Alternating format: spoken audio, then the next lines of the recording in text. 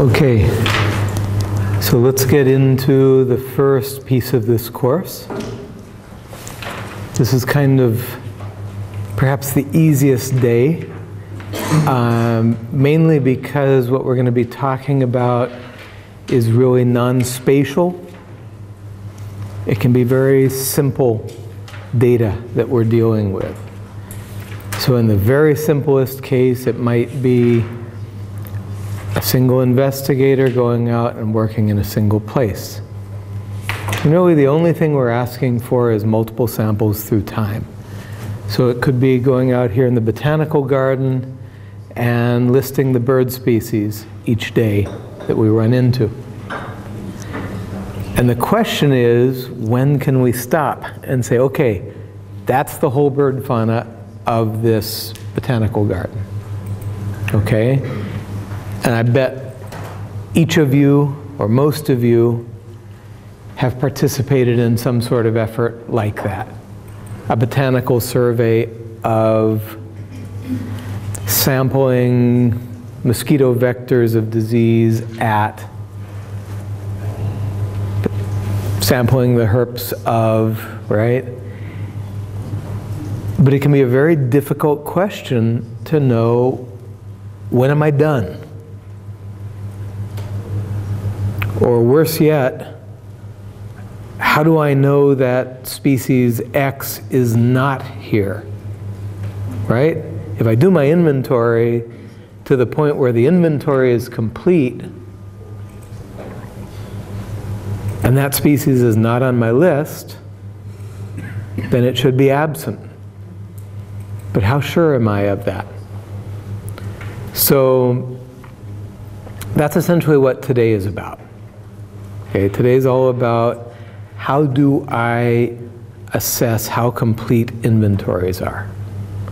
I'll take it, in a little while, I'll take it a bit farther and talk about how to design regional inventory efforts or uh, multiple sampling efforts. So again, the, the basic situation where you need today's content is you go out and you sample a site and you want to be able to say, I'm done. Okay? But the same questions come back around when we're dealing with all of these huge data resources that now exist. So your supervisor says, I want a diagnosis of, you know, the birds of Nigeria. And you look on GBIF or on VertNet or wherever, and you see, oh, look, there are 100,000 records of Nigerian birds online. Cool. Right? And yet, you don't know how good those lots and lots and lots of inventories are. Nigeria is a very diverse country. Has mountains, has lowlands, has interior drylands, has humid coastal areas. So how do we know when we're done? And there the question is multiplied essentially by the number of sites across the country. So all of the questions that today we're mostly going to look at on a single site basis. On Wednesday, we're going to come back and look at them on a geographic basis. Okay?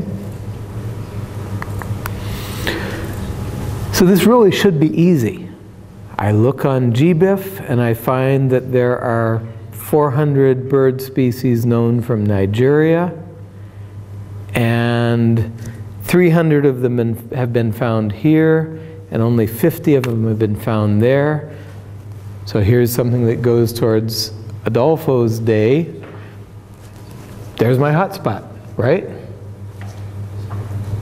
I found the place where most of those species occur. So it really ought to be easy. But there are some problems. First of all is that most sites on Earth have not been surveyed in detail. Okay, so our knowledge curve has a few sites that are very well known, and then a huge number of sites that are very poorly known. And you'll see me giving a lot of examples with birds, because that's what I do, right? That's, that's my specialty. The terrible truth is that birds are the best known taxon. So anything I say about birds is more true if you happen to work with herps or plants or whatever. For most places on Earth, birds are the best known taxa. And so it follows that for any other group, these gaps and these problems with lack of completeness will be bigger. What's worse is that a lot of taxa are hard to survey. Some of them are very cryptic or very seasonal. Worse yet, many taxa are not even well known as far as their basic diversity. I had a very good friend whose specialty was staphylinid beetles. He was a brilliant evolutionary biologist. He had all sorts of neat synthetic evolutionary questions about the beetles he studied. And he spent the first 30 years of his career describing species and describing species and describing species because everywhere he went, it was another 10 species new to science. The one that lived under the shelf fungus, the one that lived on top of the shelf fungus, the one that lived on the rodent's back, etc., etc. And in fact, this colleague died at age 58, and so he spent his first 30 years just trying to get ready to ask the exciting questions, and then he died. So a lot of taxa are like that, where you have to wade through the species descriptions before you can do the synthetic studies that you're really interested in. It gets worse, which is to say, there are all sorts of biases and problems that, that jump in. Um, how is sampling distributed in space and time? When we're dealing with heterogeneous data, we need to assure that we don't have taxonomic errors entering in.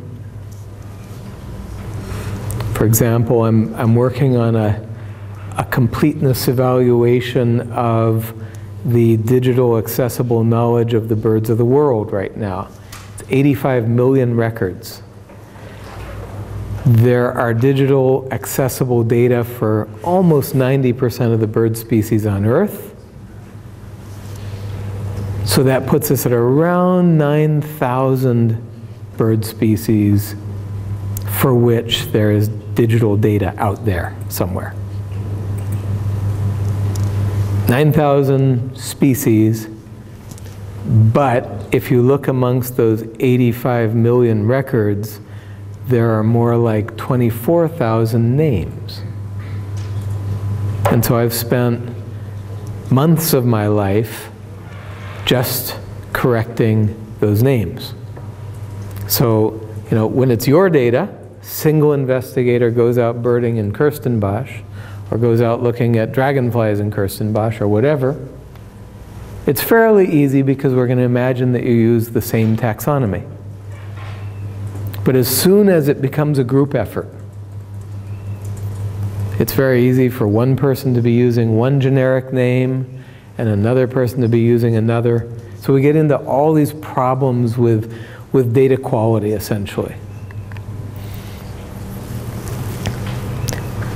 if we could do this task well, which is to say, produce robust estimates of how complete inventories are, it would be a big step forward in biodiversity science. Because we'd be able to decide which sites are well known, which species are absent from those sites, etc. Okay? Now here's kind of more of the reality. Sorry, Adolfo, this is another Mexico illustration. But this is kind of the reality. That's the distribution of sampling of birds in Mexico before 1900. And all I want you to see is that these points line up along access routes, the old roads. Okay? Which is to say, in the biodiversity world, we never have our, our sampling spread nice and evenly across geography. Instead, what we always see is that, well, we can get to this area and we can't get to this area. In fact, Adolfo's and my students are really the only biologists who've ever worked this region. And there's all sorts of neat stuff there. But there's one mountain range right about here where I, one other ornithologist, and a botanist are the only biologists who've been on that mountain range.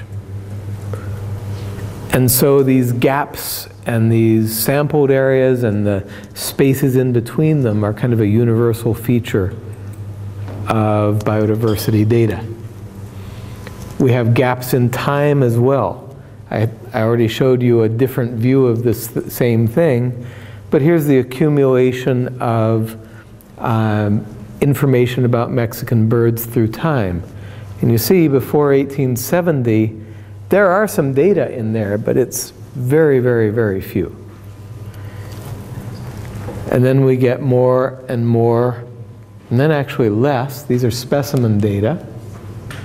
And so really it's only a couple labs that are still collecting birds in Mexico, Adolfo's, mine, not many more. Back in the glory days, there were many groups collecting in Mexico, accumulating new knowledge. There were even professional collectors who, who their job was to go collect at sites and then sell the specimens to, to museums. So we have to we have to get a way of dealing with our data that takes into account kind of irregularities in space and irregularities in time. And so we need to think quite a bit about what we do before we start extracting interesting results. Because otherwise, those interesting results may turn out to be artifacts.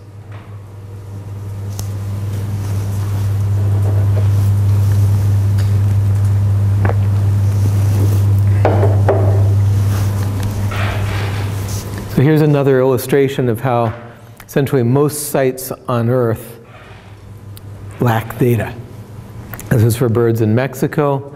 And essentially all I want you to see is these, these are different measures of knowledge. Um, this is at the top is overall number of, of records per pixel.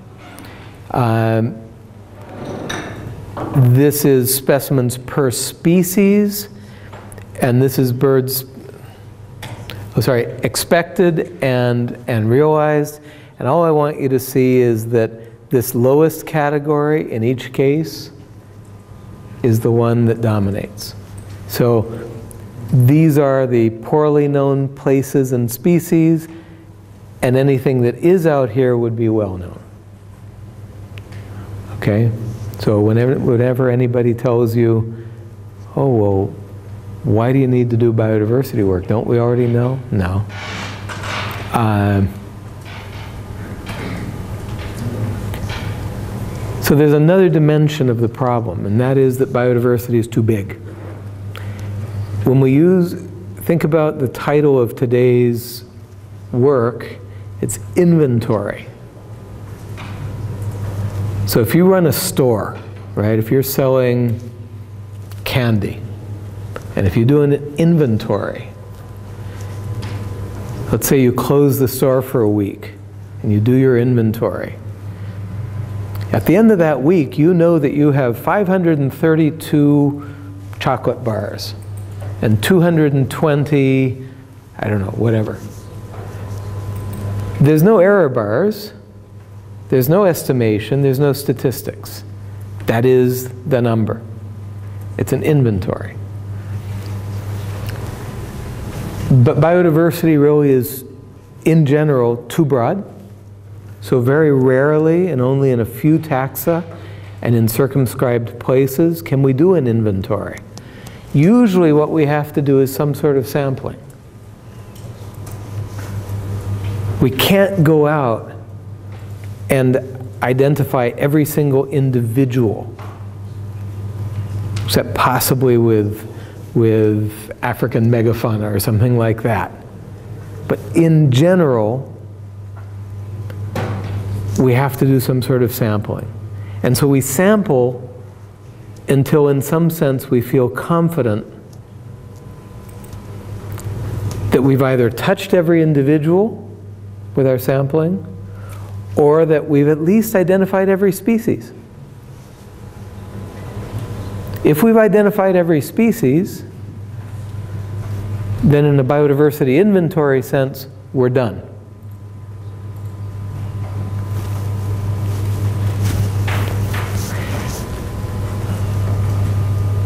So the question is how do we get that confidence that our inventory is complete?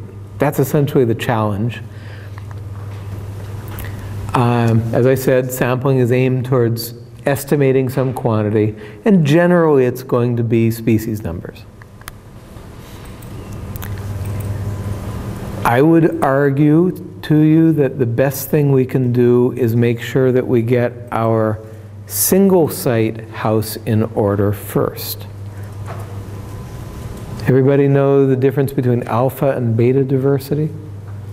Alpha, beta, gamma diversity? Alpha is point diversity. Beta is how change from moving from one point to another. And gamma? Gamma is now, I think now we're increasing scale. Just call it the sum of, of alpha and beta, the combination of them. So if your supervisor says, I want to know you know, I want an inventory of the birds of Nigeria. The gamma diversity is simply the whole set of species that occur anywhere in Nigeria. Let's say it's 500 species. Are all 500 of those species present at every site across Nigeria? No. Maybe only 200 are present at a given site. And then maybe you drive 10 kilometers down the road and there are 200 species there. How many species total have you detected between this site and this site? It's somewhere between 200 if they have the same set of species and 400 if they're completely non-overlapping. And surely it's going to be somewhere in the middle. But the difference between alpha and beta diversity which is to say alpha diversity are those single site values of 200 and 200, and beta diversity, which can be defined in many different ways. Beta diversity is essentially the turnover in the two faunas, how different those two faunas are. And you can imagine putting those two things together and you get the sum total of species in the country. But imagine you're Rafael and you want to do a conservation prioritization of Nigeria. If there are 500 species in the country and all of them are present at every point in the country, alpha diversity high, beta diversity zero, then it's pretty easy. You just pick the biggest chunk of, of land that you can set aside and you set it aside. But what do you do as those faunas or floras get different over space? I have these 200 species here, and a different 200 species here, and a different set here. All of a sudden, we have to do some sort of network of sites. We can't just take one big site. So the best thing you can do is to understand the biota, whatever your interest is, of the single sites profoundly and quantitatively so that you can then understand the turnover from site to site. Because that turnover, presence is kind of easy. You saw it or you didn't. Absence is horrible. Usually the species that generate absences are usually rare species, and so the, they can be the hard ones to detect. So it's only via rigorous inventories that you can establish those ab absences. If you are confident that you have detected 99% of the species present at a site, then you know how much confidence you can give to not having detected a particular species at the site. Everybody with me?